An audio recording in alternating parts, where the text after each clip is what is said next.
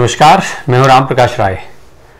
कांग्रेस के राष्ट्रीय अध्यक्ष के पद पर होने वाले चुनाव की तारीखें ज्यों ज्यों नज़दीक आती जा रही हैं। त्यों त्यों कांग्रेस का जो सियासी पारा है, वो चढ़ता जा रहा है। सियासी पारे के गरमाने की शुरुआत हर बार होती है राजस्थान से। राजस्थान, वो राज्य जहाँ कांग्रेस पार्टी की सरकार है और सियासी पारे के गरमाने की शुरुआत होने की मुख्य वजह है वहाँ के दो धड़े। एक अशोक गहलोत, जो मुख्यमंत्री हैं, दूसरा पूर्व उप मुख्यमंत्री रहे सचिन पायलट का धड़ा। ये दो धड़े हैं जिनकी वजह से ये सियासत अक्सर गर्म रहती है। अक्सर चर्चाओं का बाज़ार जो है वो कांग्रेस के अध्यक्ष पद के चुनाव से ज़्यादा इन दोनों की खेमेबाजी को लेकर के रहता है। अब अशोक गहलोत के एक बयान से कुछ नए इशारे निकल करके सामने आए। दरअसल ये इशारा है एक व्यक्ति एक पद को लेकर के। जब अशोक गहलोत ने यह बात कही कि मुख्य जो राष्ट्रीय अध्यक्ष का चुनाव है, वो कोई भी लड़ सकता है, मुख्यमंत्री का पद इससे संबंध नहीं रखता है। इसके दायरे में ये पद नहीं आता है। दरअसल अशोक गहलोत का नाम जब से कांग्रेस पार्टी के राष्ट्रीय अध्यक्ष पद के लिए चल रहा है, तब से इस बात की चर्चा जोरों पर है कि अब सचिन पायलट के हाथ में राजस्थान की कमान आ सकती है। सचिन पायलट के जो समर्थक हैं, वो लगातार इस चीज़ की मांग भी कर रहे हैं। अभी बीते दिनों पुष्कर में जब एक कार्यक्रम का आयोजन हुआ था, उस दौरान सचिन पायलट के समर्थकों ने अशोक गहलोत के खेमे के माने जाने वाले दो मंत्रियों, अशोक चंदाना और शकुंतला रावत के ऊपर बोतलें फेंकी और सचिन पायलट की जिंदाबाद के नारे भी लगाए थे। हालाँकि बाद में सचिन पायलट के खेमे से बयान आया था कि ये सारी जो साजिश थी, वो सचिन पायलट के खेमे और सचिन पायलट को बदनाम करने के लिए रची गई थी। कांग्रेस के राष्ट्रीय अध्यक्ष पद के चुनाव की जो बात है, उसमें दरअसल अशोक गहलोत का अब ये जो बयान आया, वो बयान, उस बयान की प्रतिक्रिया के तौर पर देखा जा रहा है, जिसमें सचिन पायलट ने ये बात कही थी कि कांग्रेस में एक व्यक्ति एक पद वाला का जो है वो प्रचलन है और एक व्यक्ति के बाद एक ही पद रह सकता है, एक से ज़्यादा पदों पर वो नहीं रह सकता। इसके बाद फिर अशोक गहलोत का ये बयान का आना, ये माना जाने लगा है कि अशोक गहलोत दिल्ली में रह करके और राजस्थान की सत्ता चलाना चाहते हैं। अशोक गहलोत नहीं चाहते हैं कि मुख्यमंत्री सचिन पायलट को बनाया जाए। वो किसी भी कीमत पर सचिन पायलट को मुख्यमंत्री बनाने के लिए तैयार नहीं होंगे।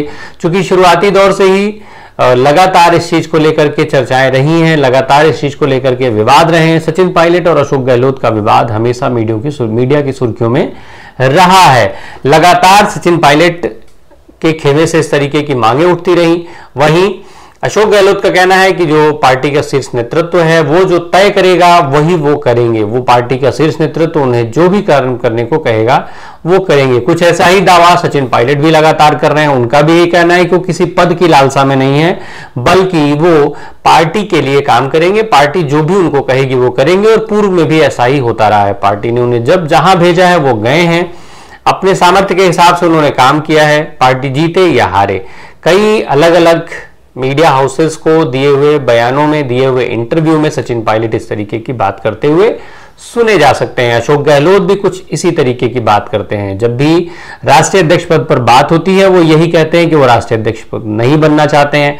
वो राहुल गांधी के लिए प्रयास कर रहे हैं। वो चाहते हैं कि राहुल गांधी राष्ट्रीय अध्यक्ष बने। खुद उस बार बार उस नाम, राहुल गांधी के नाम का प्रस्ताव भी करते हैं। इसी के क्रम में वो राहुल गांधी से मिले भी थे। अब अशोक गहलोत दिल्ली में हैं। ये इत्तेफाक की बात है कि सचिन पायलट भी इस समय दिल्ली में है। दरअसल अशोक गहलोत के लिए माना जा रहा है कि अब वो अपना नामांकन कर सकते हैं।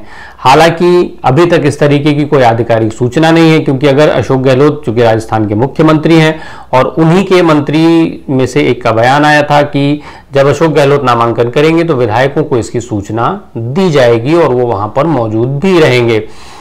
अब सचिन पायलट और अशोक गहलोत के बीच में एक व्यक्ति एक पद का ये जो विवाद शुरू हुआ है, जो ये बयान सामने आया है, दोनों के बयानों को अलग अलग अब मायने निकाले जाने शुरू हो गए हैं। ऐसे में एक बड़ा सवाल ये उठने लगा है कि क्या अशोक गहलोत किसी भी हाल में सचिन पायलट को मुख्यमंत्री नहीं बनने देना चाहते हैं? दूसरी ओर एक सवाल ये भी है कि अगर अशोक गहलोत राष्ट्रीय अध्यक्ष बन जाते हैं, चूँकि पहले से ही कांग्रेस पार्टी का शीर्ष नेतृत्व भी यही चाहता रहा है। हालाँकि वो अलग बात है कि जब शशि थरूर ने खुद अपने नाम के प्रस्ताव की बात की थी, शशि थरूर ने जब ऐसी इच्छा जताई तो जो अभी अंतरिम अध्यक्ष है सोनिया गांधी, उन्होंने तथस्थ रहने की बात कह दी थी। उन्होंने कह दिया था कि गांधी परिवार का इसमें कोई इंटरफेरेंस नहीं होगा, जो भी चाहे वो राष्ट्रीय अध्यक्ष पद का चुनाव लड़ ले। पर अशोक गहलोत की जो ये बातचीत है सचिन पायलट की जो बातचीत है, जो दोनों के खेमे हैं, उनकी जो मांगे हैं, उनको देखा जाए तो ये जो सवाल हैं, वो बेहद गंभीर रूप में हमारे सामने, सबके सामने खड़े होते हैं।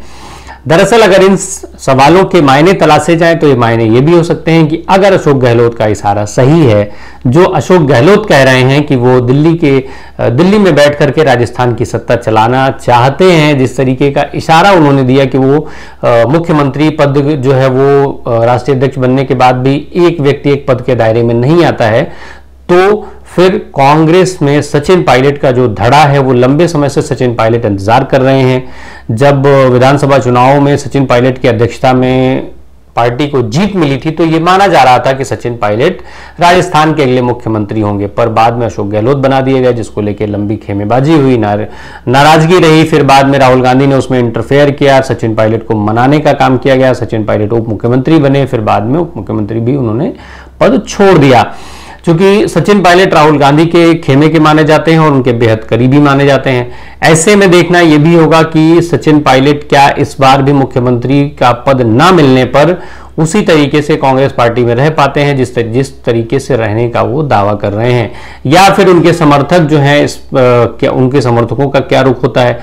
साथ ही साथ एक चर्चा इस बात की भी है कि अगर सचिन पायलट को इस बार मुख्यमंत्री पार्टी नहीं बनाती है, अशोक गहलोत के राष्ट्रीय अध्यक्ष बन जाने के बाद तो फिर यह तय है कि कांग्रेस पार्टी में एक बार और टूट हो सकती है, क्योंकि कांग्रेस पार्टी के जो सचिन जो सचिन पायलट के साथ के तमाम नेता थे, फिर चाहे वो ज्योतिरादित्य सिंधिया की बात हो, या इस तरीके के जो दूसरे नेता जो राहुल गांधी के बेहद करीबी रहे, उनमें से कईयों ने कांग्रेस पार्टी का साथ छोड़ दिया, और उसमें से ज़्यादातर अब भारतीय जनता पार्टी में है। ऐसे में सचिन पायलट के लिए भी दो संभावनाएँ हैं कि या तो वो भारतीय जनता पार्टी में शामिल होते हैं या फिर कांग्रेस पार्टी से अलग होकर के जो उनके समर्थक विधायक हैं, उनको तोड़ करके और फिर नई पार्टी बनाएँ। कुल मिलाकर यह है कि अगर अशोक गहलोत के इशारे को सच मान लिया जाए तो फिर तय है कि पार्टी में टूट हो सकती है। संभावनाएँ ज़्यादा इसी चीज़ की है कि पार्टी टूटेगी। या फिर सचिन पायलट को कांग्रेस का शीर्ष नेतृत्व किस तरीके से मना पाएगा, ये भी एक देखने वाली बात होगी, क्योंकि बीते समय कुछ महीनों या फिर साल का बात कर लें तो जो इतिहास है, जो समय जिस हिसाब से चल रहा है, उसके हिसाब से कांग्रेस पार्टी का शीर्ष नेतृत्व किसी भी बड़े नेता को मना पाने में कामयाब नहीं हो पाया है। कई नेता जो दशकों से कांग्रेस पार्टी के साथ जुड़े हुए थे, वो कांग्रेस का साथ छोड़ करके गए हैं। हालिया उदाहरण गुलाम नबी आज़ाद के तौर पर लिया जा सकता है। चूँकि वो केंद्र की सरकार में मंत्री रहे, जम्मू कश्मीर में मुख्यमंत्री रहे लंबे समय से करीब करीब पचास सालों से ज़्यादा की, पाँच दशक से ज़्यादा क्या साथ उनका कांग्रेस का रहा। इसके बावजूद भी उन्होंने राहुल गांधी पर कई आरोप लगाते हुए कांग्रेस पार्टी का साथ छोड़ दिया। अध्यक्ष पद की जो बात हो रही है, उसमें राहुल गांधी बार बार ये बात कह रहे हैं कि वो अध्यक्ष पद नहीं लेंगे, अध्यक्ष नहीं बनना चाहते हैं। ऐसे में अशोक गहलोत के नाम की जो संभावनाएँ हैं, वो बेहद प्रबल हैं और अशोक गहलोत के अध्यक्ष बन जाने के बाद ये तय है कि राजस्थान की राजनीति में घमासान दिखाई देगा। राजस्थान की राजनीति के इस घमासान का असर ये भी तय है कि राष्ट्रीय राजनीति में भी पड़ेगा, जिससे सबसे ज़्यादा प्रभावित होगी कांग्रेस पार्टी। देखना होगा कि कांग्रेस पार्टी इस प्रभाव से कैसे खुद को बचा पाती है। टूट की संभावनाओं से, संभावनाओं पर कितना वो लगाम लगा पाती है और कैसे साधती है दोनों नेताओं के खेमे, दोनों नेताओं के इस अदावत और खेमेबाजी को?